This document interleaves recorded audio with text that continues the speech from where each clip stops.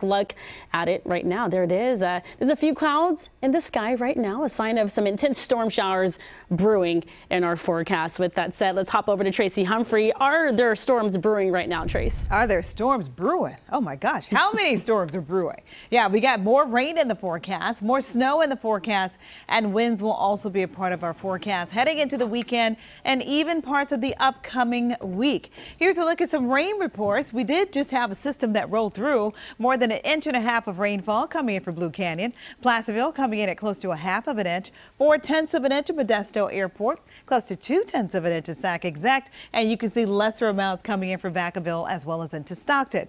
Now let's talk about snowfall because this particular system uh, delivered on both fronts. 16 inches of snowfall for Boreal, close to a foot at Yuba Pass, nine inches coming in for Kirkwood, and Blue Canyon coming in close to six inches of snowfall. So a lot more rain and a lot more snow is the way. What's ahead? Rain showers back in the forecast on Saturday.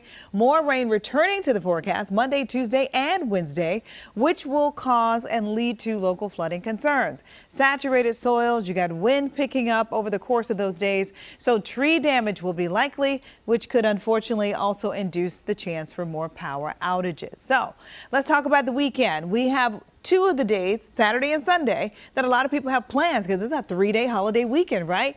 Take a look at Saturday, a washout, 80% chance of showers on Saturday, a slight break in the action on Sunday. As you take a look at the foothills, a little more the same. 80% likelihood for some showers Saturday. You can see uh, going down to 50% on Sunday. But look at temperatures from 55 to 61. Why are temperatures going up? Because we got a warm storm, so you got southerly winds coming in. As far as the forecast for the Sierra, you'll have a little rain and snow mix coming in on Saturday. Most of that snow level coming in pretty high, above 6,000 feet in elevation. Sunday, you still got a few scattered snow showers with temperatures in the mid 40s. For the Delta, 56 on Saturday. Sunday, 64. So your temperature is going up as well. So pretty mild by the time we get to Sunday.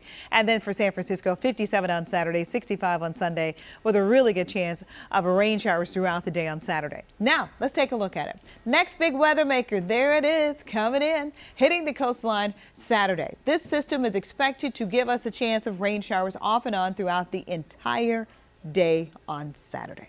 When does it move out? Early Sunday. This is 5:15 in the morning Sunday. Finally seeing some breaks in the action. So if you're looking for a break to hit the roadways, you're going north, south, east, or west, you'll see the best chance for a break coming in around 5 o'clock in the morning on Sunday, all the way to around 5:30 in the evening on Sunday. So that's giving you a 12 hour window.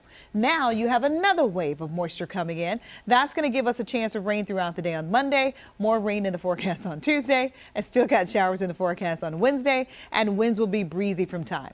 Early snow estimates, three to five feet of snowfall coming in above 6,000 feet in elevation, and rainfall from three to four inches in Sacramento to as much as six to eight inches of rainfall coming in for Donner. So do we have some storms on the way, Ashley?